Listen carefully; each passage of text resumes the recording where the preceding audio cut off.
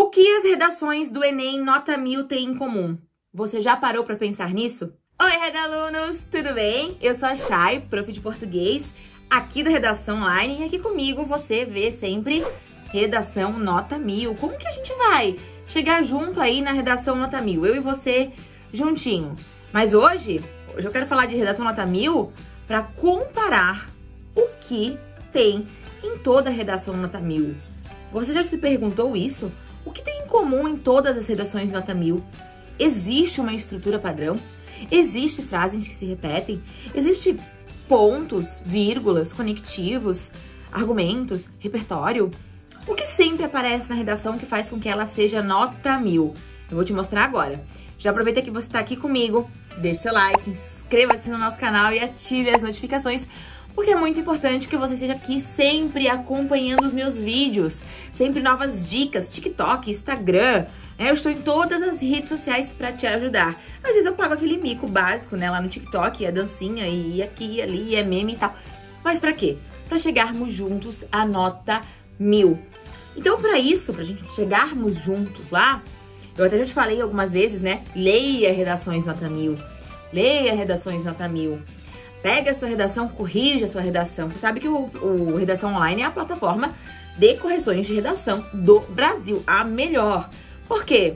Correção, repetição, notão, milzão, para você conseguir tirar mil, né?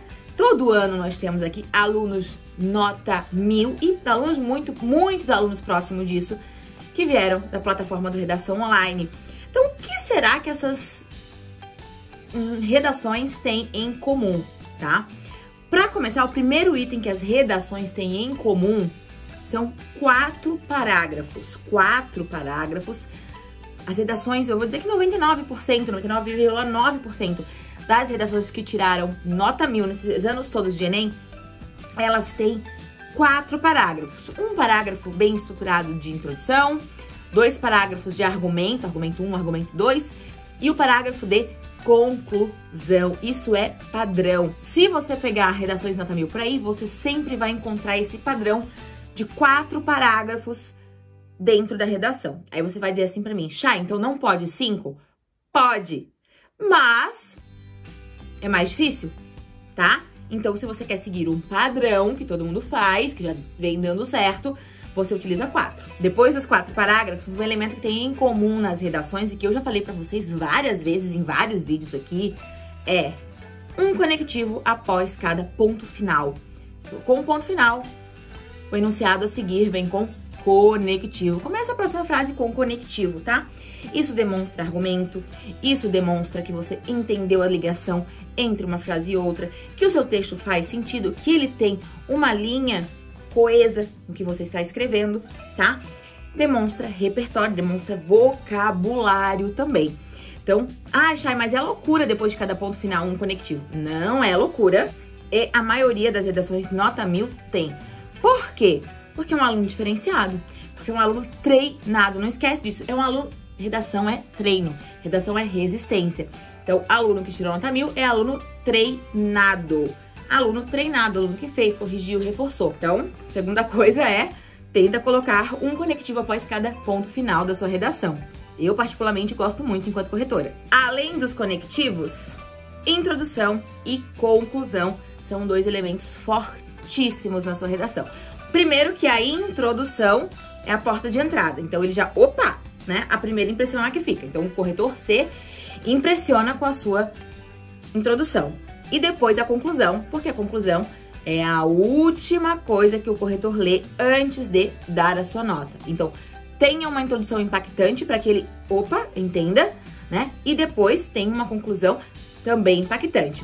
Pra gente falar de introdução, e aqui, como eu disse também, tem vídeo só sobre a introdução perfeita e tem vídeo só sobre a conclusão perfeita, mas para você entender o que tem que ter dentro dessa introdução impactante, a gente pode selecionar assim, três elementos que sempre tem, tá? Nas, nas redações nota mil. Começar com o repertório, uma citação, um livro, um filme, uma série, tá bom?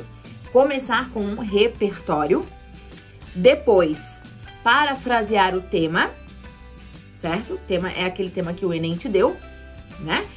que te deu na proposta e só então colocar a tese. Então, seguindo essa linha de raciocínio entre repertório, tema e tese, você vai seguir o que as outras redações nota mil já abordaram, tá? Ah, é plágio? Não, não é plágio. Ah, Chay, funciona de outro jeito? Também pode funcionar, mas essa é a que já vem funcionando, tá? Então, por isso que a gente está comparando as redações nota mil. Repertório, tema, tese. Beleza? Beleza. E a conclusão, Chay? O que é que tem na conclusão?